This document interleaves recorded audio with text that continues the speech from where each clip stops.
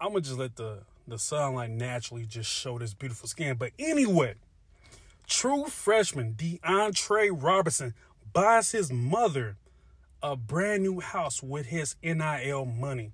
If this is not the best news that I've heard so far, utilizing the NIL money the right way, I don't know what is.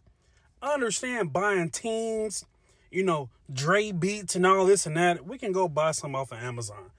But the fact that he looked out to his mama, he looked out for his mama, got his mama a house as a true freshman. The kid was just in high school just a few months ago, maybe a month ago. There's grown-ups that can't even buy their parents a house, let alone even pay a couple of months of rent. This is amazing. If you to hate, you're the problem. Welcome to new house, boy. I knew I should have recorded, dog.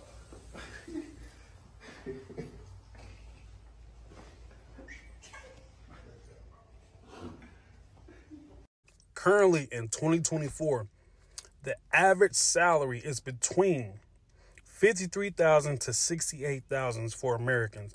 And the fact that a true freshman has an NIL deal of $111,000 and it can only go up from there. As a true freshman, not a redshirt freshman, straight out of high school, that is a blessing. People want to talk like, oh, that's no money or whatever. I guarantee if you made an extra $10,000 on your salary, that's going to be a huge blessing for you to do a, little bit more. Or you get an extra 20,000 or you find a job that you've been waiting on to get.